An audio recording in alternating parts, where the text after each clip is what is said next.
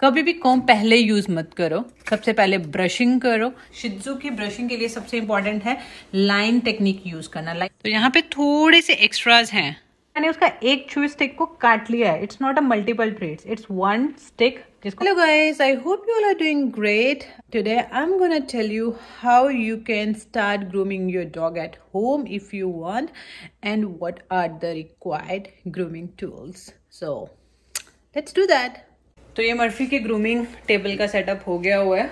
तो ये सब ग्रूमिंग टूल्स हैं जो मैं मेनली यूज़ करती हूँ मर्फी के लिए। तो जो शेयर्स मैं मर्फी के लिए यूज़ करती हूँ ये फोर टाइप की हैं। तो फर्स्टली ये राउंडेड टिप है जो मैं बिगनिंग में यूज़ करती थी जब मर्फी आ, मैंने स्टार्ट ही की थी grooming just for the protection ताकि उसको कभी लगे ना।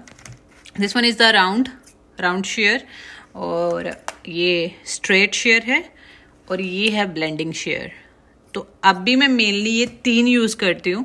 ये मैं बहुत रेयर यूज़ करती हूँ विद राउंड टिप क्योंकि ये दोनों सेम है।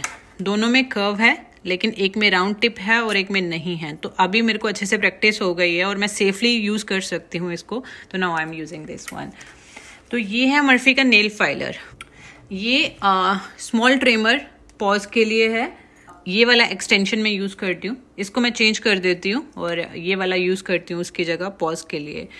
और ये है उसकी फुल बॉडी के लिए ट्रिमर उसके अलावा आ, मैं हमेशा जब मर्फी की ग्रूमिंग करती हूँ तो आई मेक श्योर कि मेरे पास ब्लड क्लॉट के लिए हो अगर एक्सीडेंटली उसको लग जाए। आज तक कभी हुआ नहीं है बट स्टिल मैं फिर भी ट्राई करती हूँ कि हमेशा रहे कभी नेल कट के टाइम पे उसको लग जाए तो इमिडिएटली ब्लड को क्लॉट कर सकूँ मैं।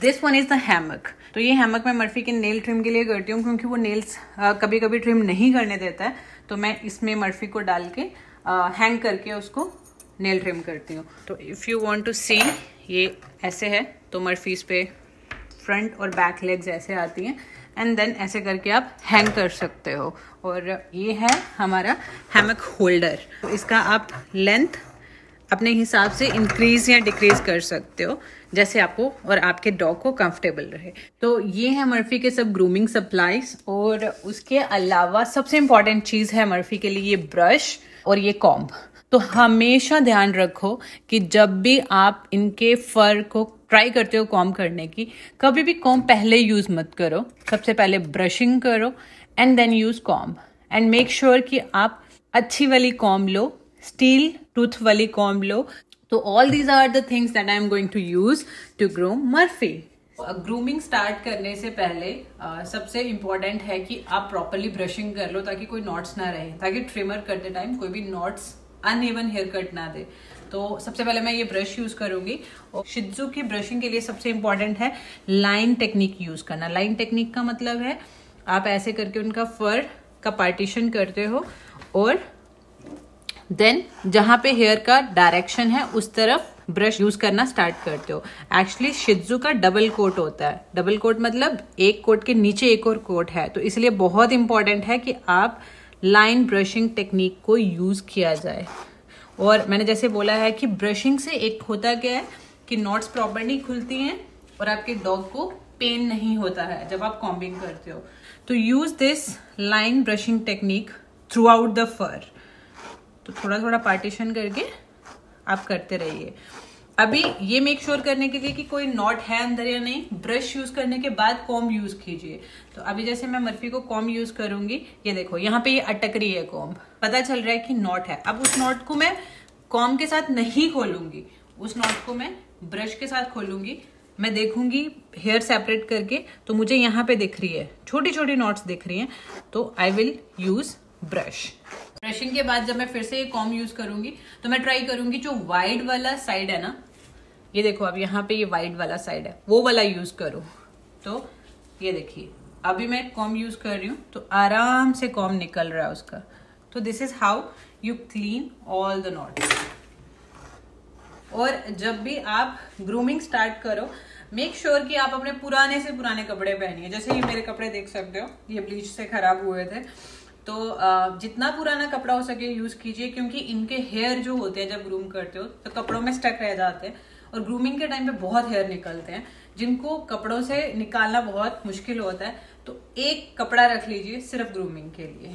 अभी मैं ये आर ट्रिमर यूज़ करने जा रही हूँ। तो अगर मैं ट्रिमर का ब्लेड देखूँ तो इस पे ब्लेड पे लिखा हुआ है 1.5 पॉइंट mm तो अगर मैं डायरेक्ट ब्लेड यूज़ करूँगी तो मर्फी का हेयर 1.5 पॉइंट mm तक रह सकते हैं मैक्सिमम बट मुझे उसका फर इतना शॉर्ट नहीं करना है तो मैं ये कॉम्ब यूज़ करूँगी ये कॉम्ब आपको अलग से मिल जाती है तो अगर आप कॉम्ब पे देखोगे तो इट्स सिक्स एम mm. तो मैं ये वाला यूज़ करने लगी हूँ comb I'm gonna attach. It's very easy to fix.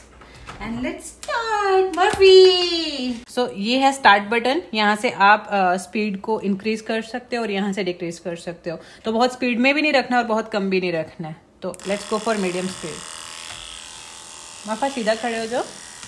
And let's start cutting his hair तो uh, जैसे आप देख सकते हो मैंने ब्लेड बहुत बड़ा नहीं लगाया है तो इसलिए बहुत ज़्यादा हेयर नहीं निकल रहे हैं.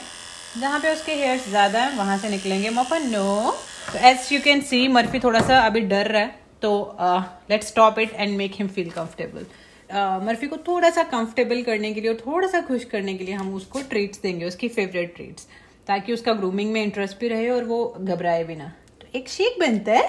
Good job so it's very important to encourage them जब आपको लगता है कि वो डर रहे हैं या फिर पैनिक हो रहे हैं तो आप ज़बरदस्ती मत कीजिए। उस पॉइंट पे रुक जाइए। उनको थोड़ा टाइम दीजिए। एक आधा फेवरेट ट्रीट खिलाइए।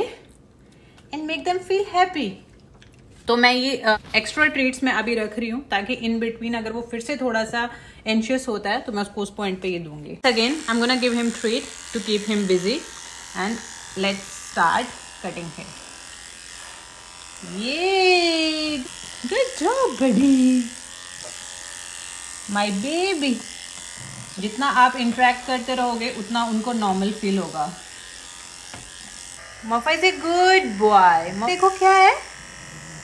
आया क्या मर्फा so we keep talking to him on different topics to keep him distracted तो मैंने जैसे पहले ही बोला कि मैं उसका बहुत फर नहीं निकालना चाहती हूँ। तो यू कैन सी हेयर कि उसका थोड़ा थोड़ा फर निकल रहा है। ये ट्रिमर हम दोनों एंड्स पे करेंगे अभी।